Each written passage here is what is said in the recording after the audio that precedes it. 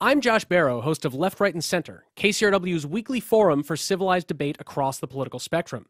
Today's news cycle demands more time for deeper analysis, so Left, Right, and Center is now a full hour every week. Subscribe and listen at kcrw.com/lrc. This episode of The Treatment contains explicit content. Listener discretion is advised.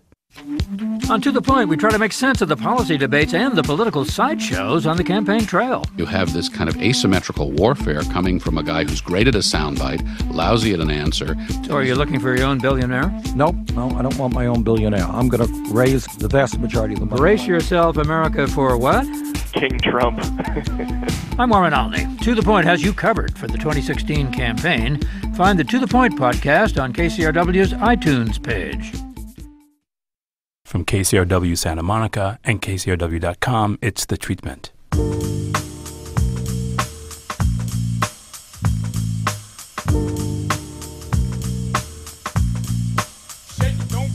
Welcome to The Treatment. I'm Elvis Mitchell. My guest, Tyler Creator, once said he's a walking contradiction. I like to think of that old line from the Walt Whitman poem, sung to myself I am large, I contain multitudes. That's more your speed, isn't it? Uh, sure.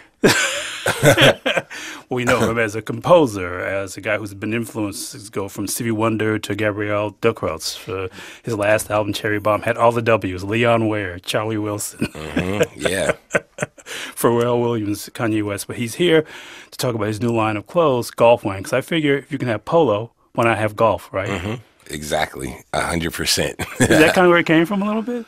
Uh, nah. It's our our crew is called Wolfgang, and then on one day on Photoshop, I just switched the W and the G, and it turned into Golf Wang, and symmetrically, golf looked awesome on things, and I kind of just would rep Golf Wang, and then I was like, uh, we was doing the OF, the Odd Future uh, merch stuff. I was just like. Damn, you know, I'm gonna finally just do my clothing line that I've always wanted to do. And in 2011, I started doing the Golf Wang thing just separately, and it's been my baby ever since. Because I always thought of it as being like a clothing line and not a fashion line. Be Like, this is really just about clothes and what you feel like wearing when you feel like wearing it, right? I mean, it's a I wouldn't it's a clothing line, but like you know, do sh- furniture and it's it's, it's Yeah, it's we saw the- in the show you had lifestyle. I think people would consider that lifestyle. Okay, yeah, because you had the Coke can chairs in the show the other day. Yeah, and the table and the backpack walk-in closet and the sink and all the freaking sheets and pillows and rugs and toothbrushes and you know all that everything. You just want to put the whole lifestyle thing together for people, then, right? That's what the line is for you. I mean, yeah, I I want to make stuff. I want to put my twist on everything in the world possible. Because well, I was just telling him just before we sat down, when I saw the colors, the first thing I thought about was the old uh, Billionaire Boys Club ice cream line. 'cause those colors pop in the same way. Well, you know, that came out when I was, you know, 13. Well, they started that when I was 12, but it, it didn't really start getting there until I was 13. It was 2004. And, you know, I mean, P's my fucking dad, hero, idol, you know, the, the only male figure I had growing up. Yeah, so I, I, my, my first love for clothes started because of Bape and what Nigo and P did and things like that. So, you know, me, just my love for that. If you're intelligent, you will be able to see, you know, some of the, the, um, I wouldn't even say inspiration, but you know where I, I came from. Yeah, because look at the shoes. I can't help but think about Bape when I see the shoes. You know, it's almost like the same line in the shoes, isn't it? Mhm. Well, I kind of, I only wear Vans, and I look, I like Bape, and then I used to love Puma Clydes and stuff, and so I, it, the shoes so far, just as the first sample, is just a mixture of a, a little bit of bunch of Bape and a different little shoes. bit of like because I have some like lilac Clydes from like 2004 that Mm-hmm. I got, and this lilac is a big uh, sort of lilac and pink and yellows, and, Mm-hmm. and those are all to me kind of again like BBC colors. I mean, I wouldn't really say that. I guess they brought it to a. a I don't want. I hate the word urban. That's just a politically correct way to say nigger. But uh, they brought it to. I guess. I guess that stuff kind of brought more colors that black people weren't really wearing. Or the the black youth weren't really into, and then they made that cool. But you know, it's you know, Chucks had crazy colors. Vans, some of Vans' first shoes were blue, and then the yellow and reds and things like that. And If you even go back to old school polo, a lot of that stuff is yellow. I mean, yeah, they've had all colors. You know, not trying to discredit you know the lines I love, but them niggas didn't really start the colors, but they they did bring it to an audience and make it cracked open a door to make it okay slowly and surely for blacks to black youth to do that stuff at that time because that shit is it wasn't cool. It's still a couple things that's not even cool, which sucks. like, what do you mean? What are you thinking? I mean, I have a lot of white friends and stuff, so like just me saying hi to people and I hug people and stuff, like that's not like the like black dudes don't do that. they want to, you know, They don't. nah. I mean, I don't know. Maybe maybe your generation, but like hugs is weird and like telling your friends you love them and appreciate them sometimes is weird. Like like uh the the code word for that is like, oh, that's my nigga. Like gang gang with like just flat out saying, oh, I love you, bro. Like I appreciate you so much is like it's a lot of things that's weird with with uh with our with our generation with certain things like that. Well, that's Especially growing up, it was weird. Well, but you feel like it seems like to me everything you do is kind of like just your way of saying there's more than one way to do everything. Yeah, of course. The, and then like they, they trick they trick you to follow. You know, just as humans, we we don't like being alone. So you you slowly just follow, start following the things that go, and after a while, your brain is just tricked into thinking that this is the only way to do certain things because that's all you know. And sometimes I feel like our our culture, you're not meant to explore. You're not meant to be weird and see what's that and be curious and see what what this is like and things like that. So you kind of only know one way of certain things, and I've always just never wanted to think it was one way of looking at things and trying things, and that's guess- why I'm here. No, no, I, I feel that because one of the reasons I just was doing the BBC just because a lot of the that early NERD and Pharrell was just, just about breaking on that same kind of way. It wasn't like saying there's more than one way to do things and more than one way to approach music and more than one way to approach lifestyle. Yeah, and I think that's what uh, what I, why I gravitated towards it, just naturally, just the way I was born. I guess I just was always gonna be this way, and I gravitated to that because it was different, and it wasn't like it didn't sound like the other fifty artists that was making so and so so and so black music at the time. It was intertwining all different genres and some songs just had yells and it wasn't about being deep and lyrical it was some stuff was telling a story but it wasn't just a story about selling drugs or shooting people.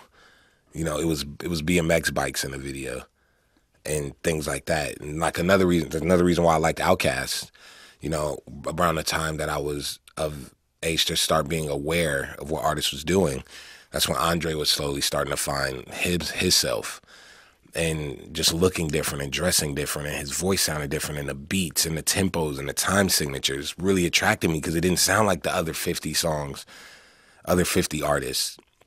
And i feel like kanye west is another person like that you know when he came with the pink polos and he didn't have a gun. It was cool because it's i didn't i never was like that. So to know it was people like that made me feel more comfortable you know, it was a safe zone. Yeah, what was the first OutKast that you connected with? What was the first album of theirs that you kind of heard? You went, oh, I really, I really get that. Stankonia was the first one where I was like I knew what I liked, why I liked it. But uh Aquemini was uh I remember, you know, Rosa Parks and uh the song with Mystikal off the Wood soundtrack. They was being played like back to back and thing. And I got the album and number five, always like the the song of Aquemini and the way Andre would rap and then what he said on his first verse on Return of the G, number two on that album, was just like y'all niggas always want to talk about this. Let's talk about time traveling. My, some mind unraveling. Get like Return of the Gangster. Thanks to the niggas that want to like the the things he was talking about was just crazy because it was you never hear no one saying that stuff in a cool way. It's either if they're if they're being super preachy, they're like super real hip hop underground and they don't look cool at all.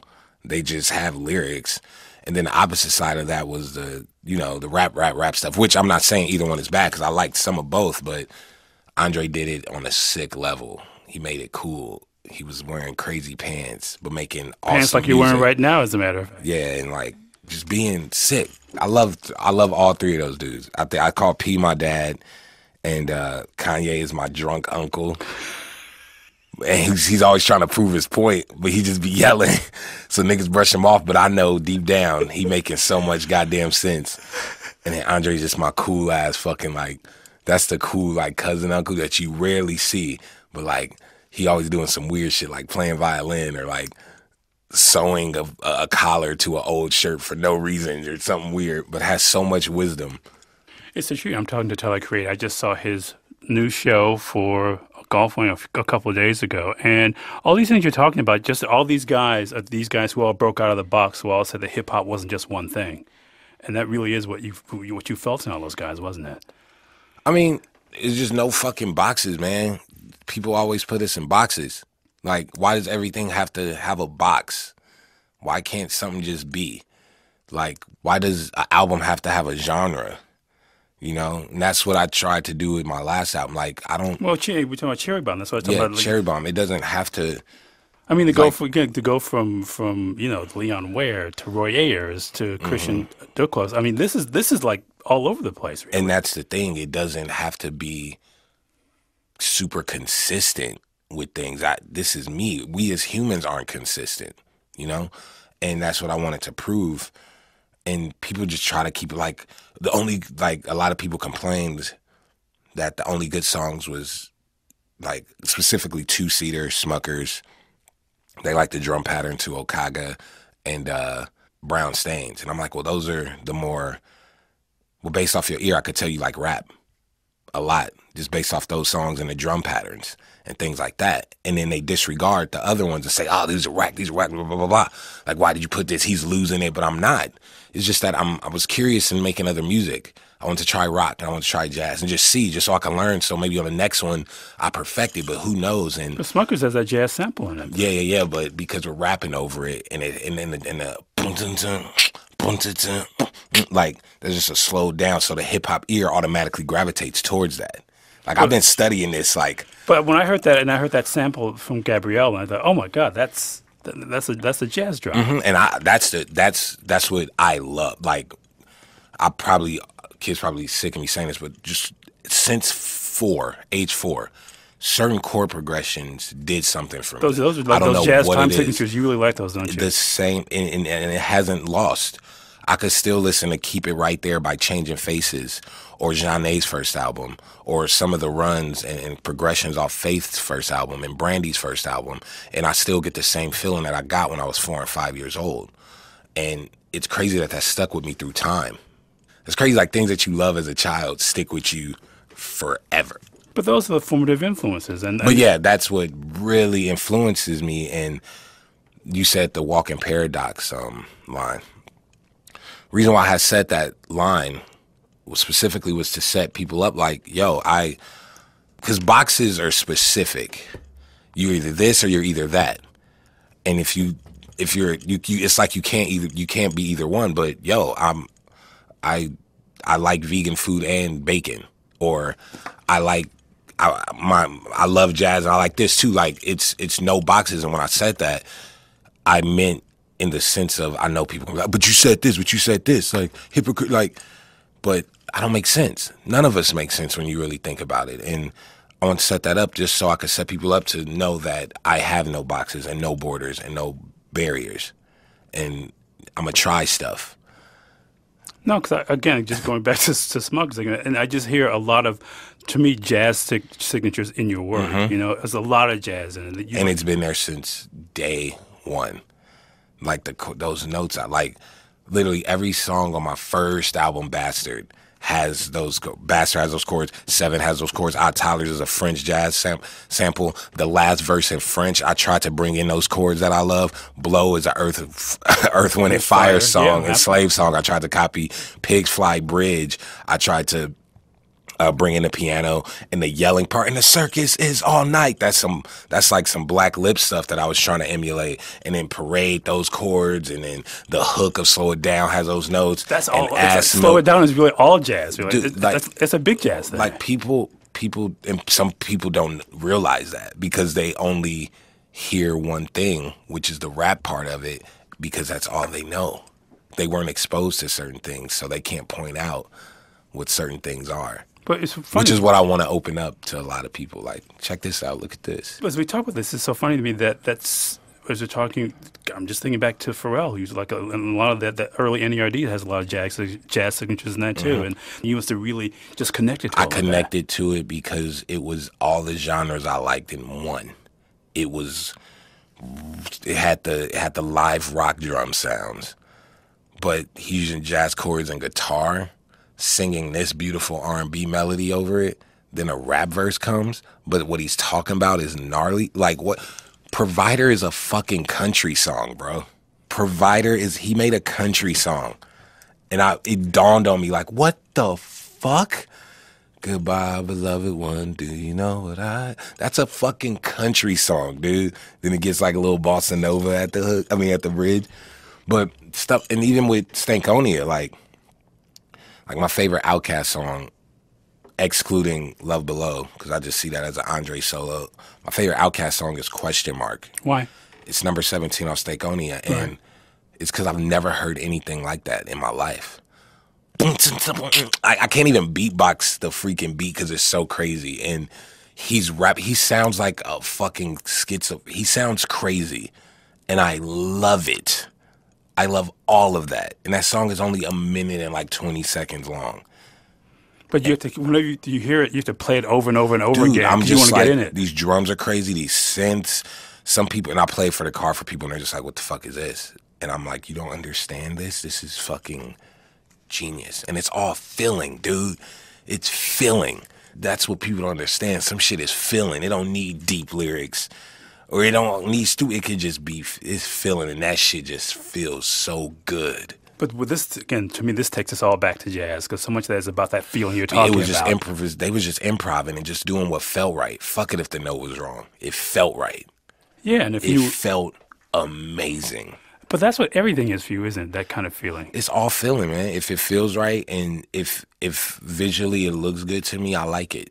You know, that's seeing with your heart and not your eyes sometimes. You know, And it's hard because that's So- a SWV song.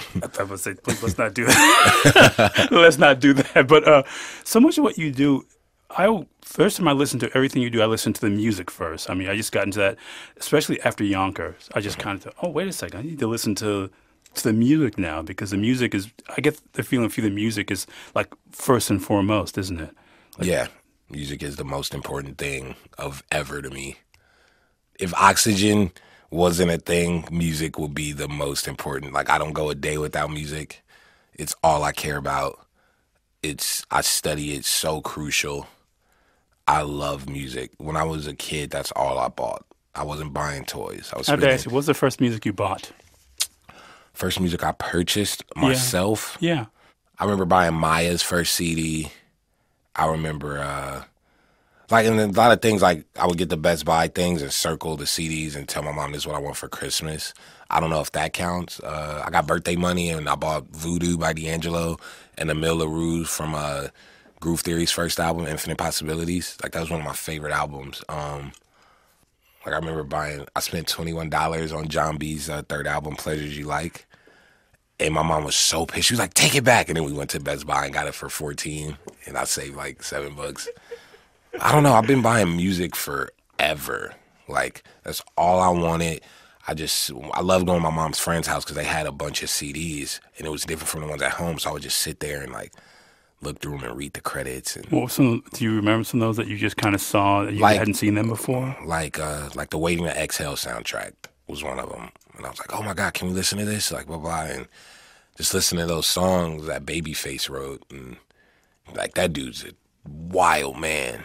And Babyface, one of these guys who brought, you know, who brought the acoustic guitar into R and B. Yeah, he did so. Like his writing was crazy. That album was number one for like a while. Sold so many millions of copies. Had five, ten chart, five songs on the charts, including "Not Gonna Cry" by Mary and the Brandy song "Sit in My Room." And it's some cuts on there too. It's an SWV song on there. That's that chord progression is fucking insane. It's called All Night Long. I think it's number ten, if I know not of the mistaken. song. Let's, let's take, we'll take a break. Well, we, What? We, we got to. We'll, That song we'll- is insane. Well, well, we got to take a little break. My guest, who apparently really loves Sisters with Voices, is Tyler the Creator. It's the treatment. There's more to come. Stay with us.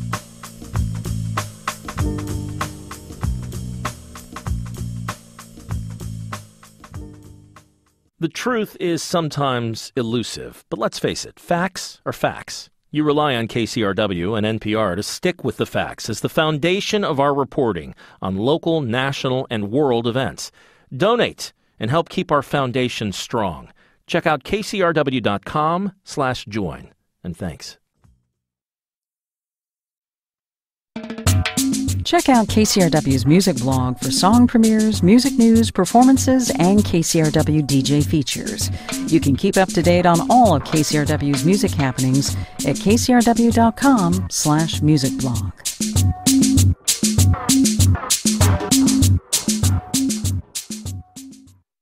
Welcome back. It's the treat. We're talking about a whole bunch of things: fashion, music, feelings, everything with an F. My guess is Tyler the Creator. But I want to go back to a little bit to, to that show because when you sent me the invitation, it said something on I've always wanted to get from a fashion invitation, which is dress how you want, not how you think you're supposed to. Which is kind of the way you lead your life too, isn't it? Yeah, I I uh, I saw some kid leave a comment on my Instagram saying, uh, uh, it's fashion show, okay, I'm gonna come in this, and he was like, I'm gonna come in these shoes and my long fashiony shirt and stuff. And the tone he said it in didn't sound, you know, honest.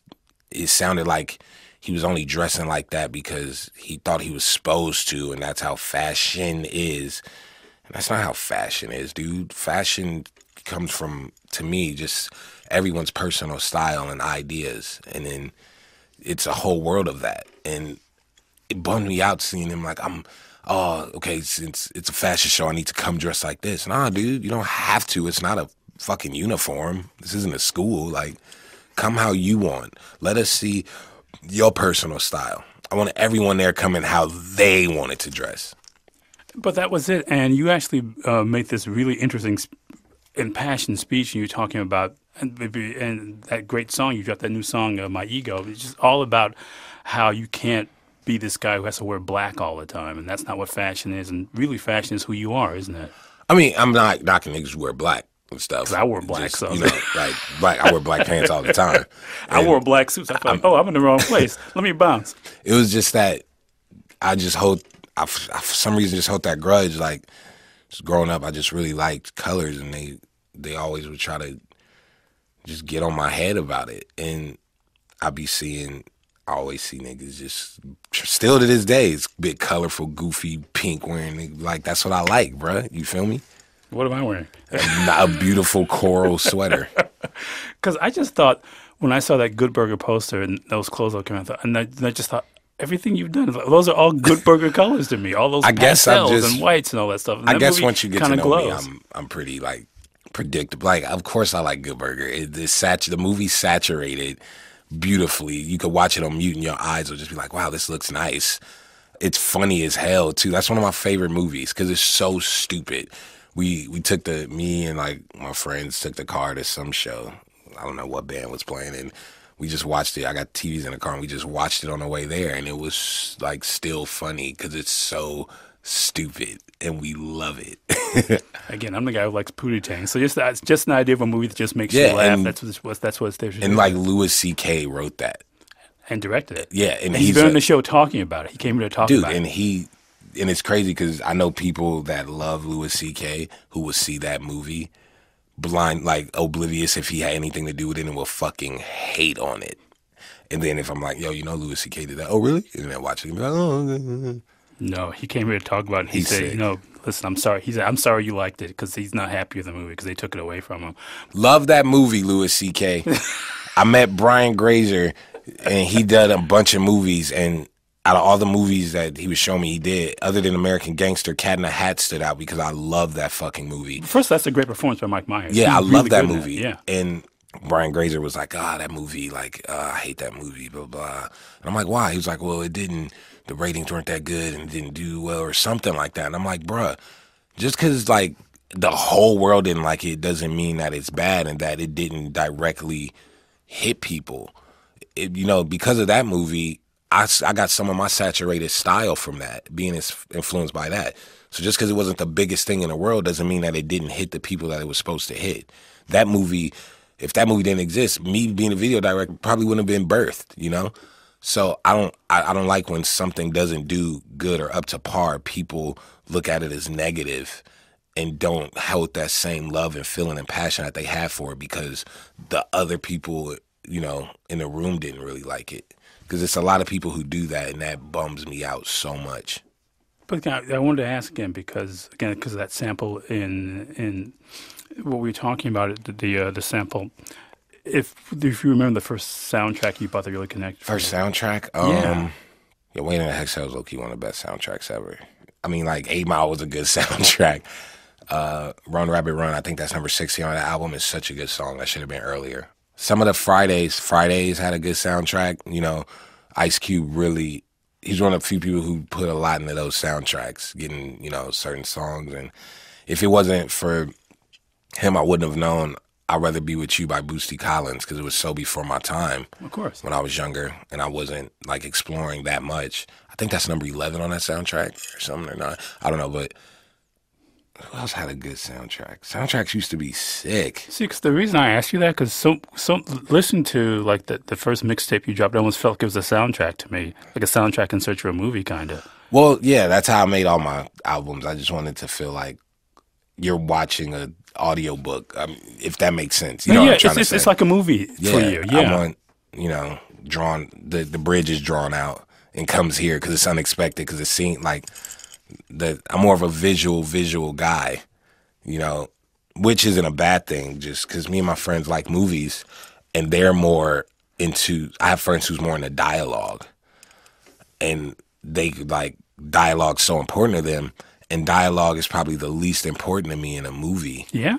yeah, I'm more like if it doesn't look good, I can't watch it. If these shots aren't sick, I don't really care. Like that's cool that the character's developing and stuff, but that's probably second or third for me.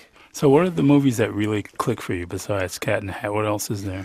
Uh, Napoleon Dynamite is one Again, of them. which also has those saturated colors. yeah, too. just just the way that that looks just always got me. Youth and Revolt was a very sick movie. again colors. Every movie you talked about is kind of. I mean, I'm just color. a visual guy. You know, that's just me. And you know, some people are more dialogue. So the probably the guy who likes dialogue the most is probably a ridiculous writer. You know, probably really deep into the lyrics and things like that. Where me, I write songs based off video ideas that I have. You know, things like that. So that's just how my brain works. Well, like I said, I've always thought that just from hearing the very first one. This sounds like a soundtrack to a movie that he should be making right now, Mm-hmm. and every single one feels like that to me. Yeah, that's that's kind of how I base some most of all the albums. Kind of is just timing and what I'm into at the moment, and me wanting to go to that perfect world, and and um doing that. Because you really probably wanted to be a movie maker as much as anything else first, didn't you? Nah, it's always been music, but Yeah, because it just seeing again, going back to the, the, the show the other night, that's it's it's basically it's, it's got a plot. but it all goes together. It's every every song I hear for the most part that I like, I have a video idea for it. And it's been like that since I was like 6 or 7. I guess that's kind of how it worked, you know. Like came up with that scene the scenes at the at the fashion show and was like, okay, what music do I make for this? And then I had some other stuff that was very orchestrated, very intricate, you know, Italian soundtrack stuff. But I was like, no, this needs to be simpler. I need to strip this down and just have two chords going back and forth so people could focus. Like, I get into it like that. It's the treatment. I'm talking to Tyler, the creator, who's done a few things for a few songs you may have heard of, I've but he's also he's done a couple of things. We talked about a couple of things he's done here, but we're talking about this clothing line and that sense of surprising the eye. You know, you talking about the bridges coming from nowhere, which is almost like being surprised by a plot point in a movie. The movie goes this way Mm-hmm. instead of that way, and the show felt like that to me too. Yeah, I've always wanted to do a fast show. I was like, fuck it, I'm gonna do a golf swing fast show. Like, why not? Like, why not? It was like two years ago. I was like, okay, if I ever do one, it'll have this and this, whatever. I was just like, one day I'll do it. No rush. I'm not in a rush. And then a couple months ago, the Made people hit hit us up and was like, "Yo, we're doing this thing, blah blah blah. It's Fashion Week thing in L.A. We don't know who else we're gonna get to do the second part, but we are really interested in Tyler." Long story short, I'm like, "All right, cool, let's do it." And I started uh, trying to figure out what I was gonna do for a fashion show, and literally, I was in Reno. In 40 seconds, the whole idea of fashion show came to me. I was like, hmm, I should do that. And I just stopped, sat there thinking, and then the whole thing was thought out. And then about a month ago, I started looking up other fashion shows. And uh, I just started realizing, yo, all these fashion shows look the same. It's like they get a bunch of people, they make they sit them like this, and then the people walk out in crazy outfits, and then they walk back.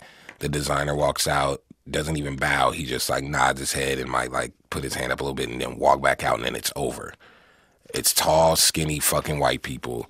They look uncomfortable or something stinks or they're walking like shit. Like you know when you really have to shit, I do like now. really have to shit, in any sudden move, like you got to slow your walk down. That's what I feel So like it's like they're fashion like. is constipation then. dude. It's and they're pretentious and they don't. They look down on shit and. I don't know. They, they, they. it- It's a box. They, they, you feel alienated. And when my fashion show, I was like, "Fuck this." I want gay kids there. I want more. I want black people there because it's not enough niggas on runways. You want non-skinny if- people I, there. I want non-skinny people. If you short, I want you tall. I want you with a fucked up hunchback. I want your limp. I want. I want. I want someone there that's fucking 58 years old there modeling for me. I want someone there that's 10 years old modeling for me. I'm a model my shit too. Cause fuck the designer coming out. I can't. Why? Why would I not model my own shit? I make say- the clothes for me. we you should know? say it starts with you. exactly. It So- literally starts with you. and I was like, I don't, you know, they was trying to send me models and you know. Oh, were they trying to make you And I was make like, it into a fashion show? Like no, like I know who I want, and everyone that I picked were people who I respect their energy or just their silhouette, or I wanted, I wanted to break their awkward factor and make them walk in front of fucking two thousand plus people. And the thing that I saw in this that you never see in fashion shows is people acknowledging each other as they're walking past. Mm-hmm. Because we're never- friends, we having fun, man. Like, if I'm not having fun every day of my life, what am I doing? I should not stress at all. You know what I'm saying? That's not work for me. That fashion show was fun coming up. And when we up there, I told them, I don't want y'all being super serious and trying to be cool. We up there to have fun. If you fall, you fall, play it off, and let's keep it rolling. Fuck it, throw me the basketball across, and let's see if we could even make it. And if was, we miss and waiting- hit somebody, I was waiting to see that happen. it. I was waiting to see somebody get hit. when That basketball went out there, and then when they would start, when you had the, the board ramps out there, and they start somebody that board's going to the Mm-hmm. Nah, audience. man, it's the, all the energy was good. Everyone was excited, and we was having fun, and that felt like a rehearsal for us. We didn't even realize what we were doing. It felt like a rehearsal, and it was awesome. And everyone that I picked, it was like it was like the people I wish I, I had around me in high school. Just it was like the perfect thirteen people from different backgrounds and sizes and, the different things, but we all had a common thread. We were all fucking cool as shit. And we looked sick as fuck on that runway. You see little Alex, the little that nigga walk? What? Oh my god. And then the bald girl with her gap tooth, bruh. She's sick. I had to represent for niggas with gap teeth. I see why. but I guess what I thought about too was again, it had like a beginning, a middle, and an end. You know, I mean, Oh yeah, like and that. then I was like, I was like, well, dude, I don't like. I make so much stuff. Like it's bigger than just a T-shirt. I make I'm gonna make golf balls, and I'm actually start making golf stuff and cardigans. But there's like a whole golf sort of little plot in the entire fashion I'm like, damn the the cardigan. I made a I made like some other stuff for the older dudes who don't want to wear all the crazy all over print stuff. So I was like, okay, I got to figure out a way how to get to show their stuff.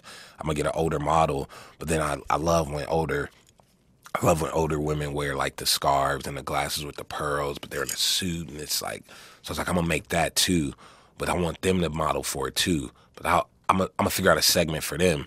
But damn, I want to show the bedding that I make, and I want to show people the chairs and the this this this yeah, because uh, it starts off with walk-in you, closet. It starts off with you in, in bed, exactly with the bedding. and yes.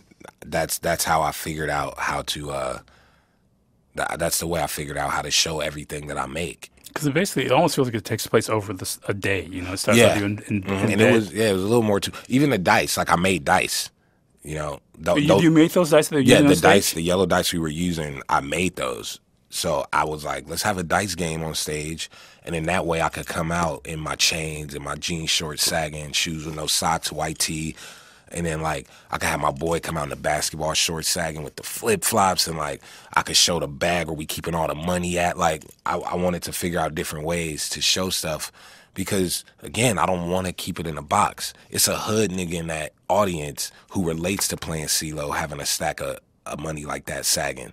And he can't relate to the skinny little little gay white kid in the in the in the in the pink polo and the trench coat. You know what I'm saying? But then again, it's someone in the audience that can't relate to the dice game. So I, I and then it's a, it's someone's parent out there that can't relate to that. But when he saw Thurnis in the cardigan and the pants actually playing golf, Golf, yeah. and that hat that you won't see no 16 year old in, but you'll see a 50 year old man in, he was like, oh snaps, like I got that too. And then it's people there who don't care about clothes but might love furniture and might respect the fact that I saw a Coke can one day and decided to make a chair from it, or I took my tech deck and made it 18 times bigger And turned and turned it into a table to put my books in, and and saw a, a coffee mug and said that should be a sink, and made that. So, I like I said, it all comes from no rules. It's no it's no boxes. It's no borders. It's no ceiling. I'm going for it. And it's also too just about you creating like an environment too. It's not just about the clothes.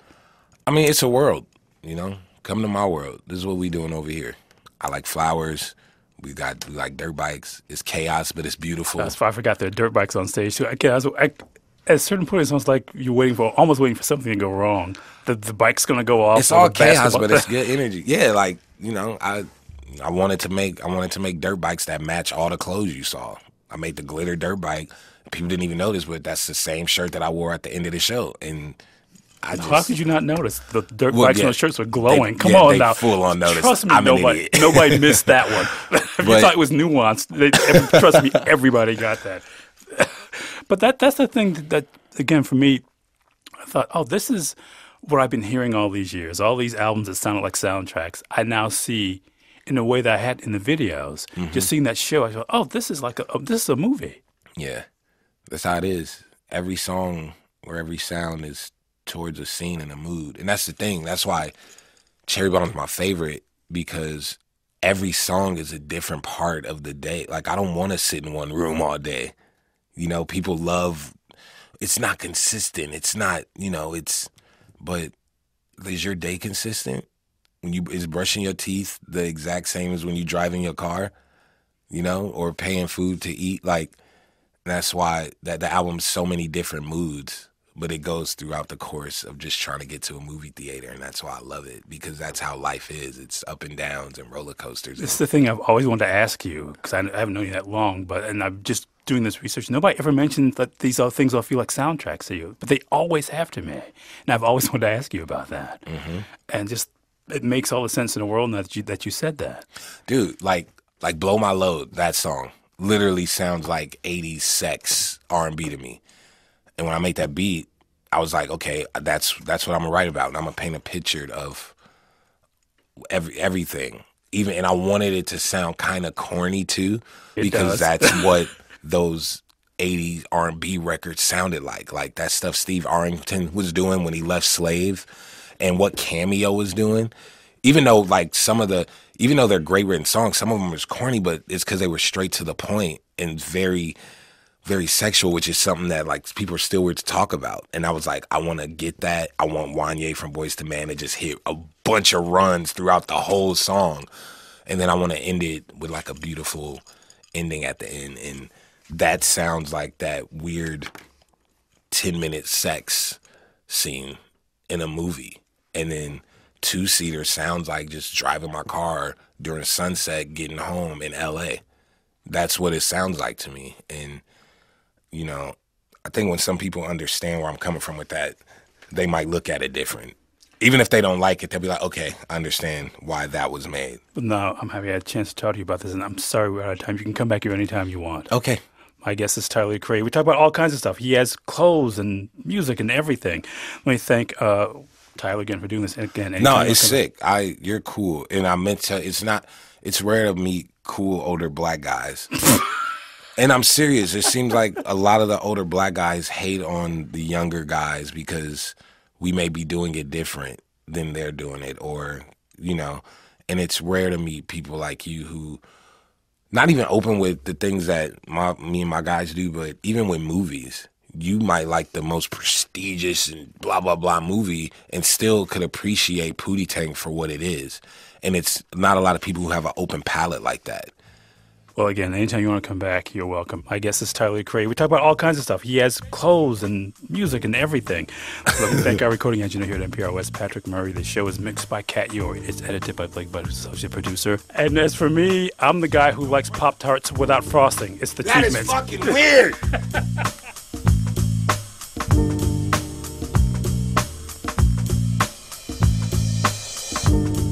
catch up on past episodes of The Treatment, go to kcrw.com or listen on your smartphone with KCRW's mobile apps, or subscribe to the podcast on iTunes, Stitcher, or if you listen to podcasts. The Treatment is produced and distributed by KCRW Santa Monica.